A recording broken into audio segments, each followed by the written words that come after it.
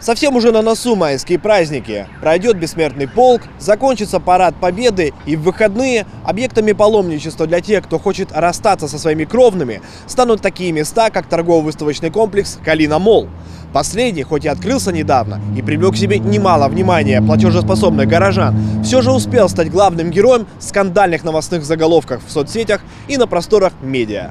Сама история открытия ТВК полна курьезов и происшествий. Калина Мол распахнул свои двери 28 февраля, в четверг, в канун уикенда. И тут же ряд местных СМИ оповестили о том, что центр, цитата, не довели до ума. А прямо у входа в первый день работы были видны остатки бывшей стройки. Интересно, что официальное открытие Молла было назначено на 27 апреля, то есть на два месяца позже фактического. И тут Калина Мол, что называется, попал в просак. Информационное агентство «Восток Медиа» проделало целое журналистское расследование, чтобы выяснить, в течение как минимум двух месяцев месяцев у отсутствовала пожарная декларация. На указанный объект декларация пожарной безопасности в органах государственного пожарного надзора Главного управления не регистрировалась, пояснил собеседнику агентства «Восток Медиа» первый заместитель начальника Главного управления МЧС по Приморскому краю Павел Шпеньков.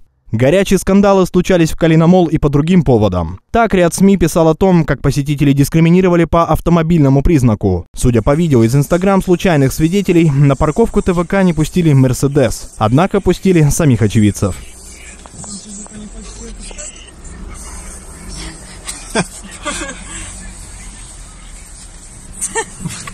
Мерса не хочет пускать. Еще одной скандальной новостью в медиа отозвалась информация о том, что парковку в Калиномол сделали платной. 50 рублей за первые два часа и столько же за каждый последующий. Однако даже такая невысокая цена вынуждает некоторых автовладельцев экономить и создавать неудобства другим участникам дорожного движения. Мнения самих горожан, гуляющих в окрестностях торгового центра, разделились. Да. Мы были раз, и люди там были. Вот здесь большая площадка, какие-то скамеечки вроде есть.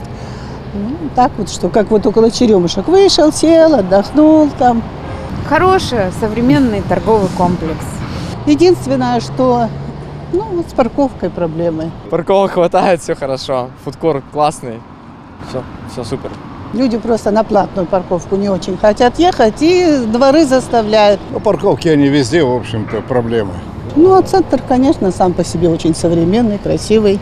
На данный момент крупнейший на Дальнем Востоке торгово-выставочный комплекс, его площадь больше 100 тысяч квадратных метров, работает в штатном режиме. Периодически на его территории случаются курьезы, однако 122 магазина и 1700 новых рабочих мест все же вносят свой вклад в экономику города. А сама архитектура, что уж тут говорить, радует неизбалованный глаз жителя приморской столицы. Насколько успешен окажется комплекс, покажет время. Восьмой канал продолжает следить за бизнесом и жизнью в городе. Евгений Черемахин, Станислав Лазебный. Новости на восьмом.